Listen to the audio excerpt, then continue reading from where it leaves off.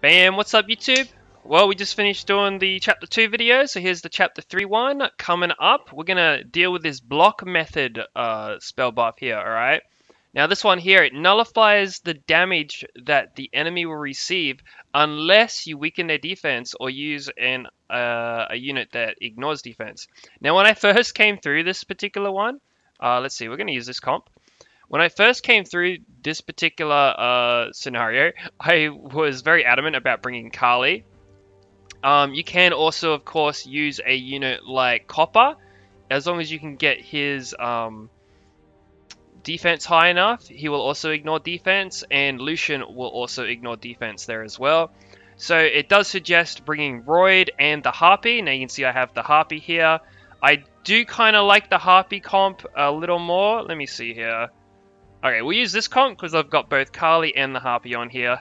Uh, I don't have Royd in there. Let's just swap. Let's swap Royd in there because he's level nine now too. And uh, yeah, we're just gonna have at it. Did it just? It did. It just changed things up on me. Uh, yeah, whatever. This will do. This will this will clear it fine. All right. So uh, here we go, guys. I'll just show you what you got to get done here. Now, it's not overly complicated. As long as you bring a defense break, uh, you can damage them through the buff. The only, like, the biggest issue is when you uh, miss the defense break, right? That That's the most annoying part, but it's alright. Bringing a defense break is going to make this go a lot quicker to begin with anyway. And of course, we can just AoE these guys down, just like that. Put, an, put a defense breakout, uh, the AoE defense breakout. Whoop and then, of course, follow it up with a uh, AoE damage skill if you want to.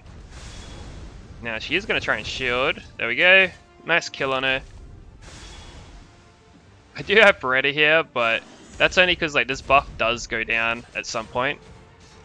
Now, here's the issue is where we've got a win unit against uh, this fire unit, trying to put the debuff on him. I wonder if chains will work while he's defense broken. Oh, it did. Nice. There you go, guys.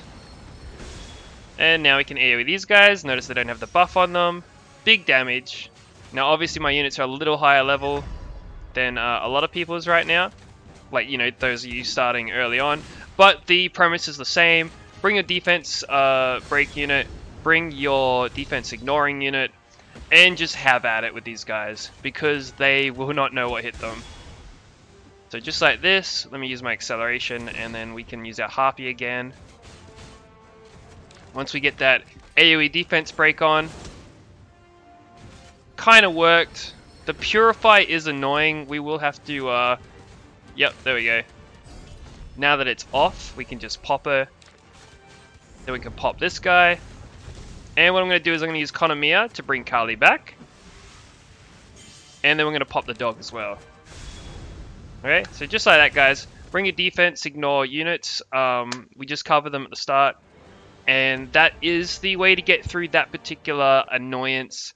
I had a had a bit of a rougher time with it early on uh, in my game because I I didn't read the weakened defense part properly, so I just brought uh, ignore defense unit Kahli, and my Kahli was like level four at the time, so it was like, oh man, this is annoying. Like I got through it fine, but it was like it didn't feel like I was doing much damage. So I completely understand, okay? If uh, it feels like it, she's not quite good enough early on. But that's where uh, bringing bring your defense break units, and that's going to help a lot, alright? Because your auto attacks will deal with the rest. Anyways, I'll catch you guys on the next one. Peace.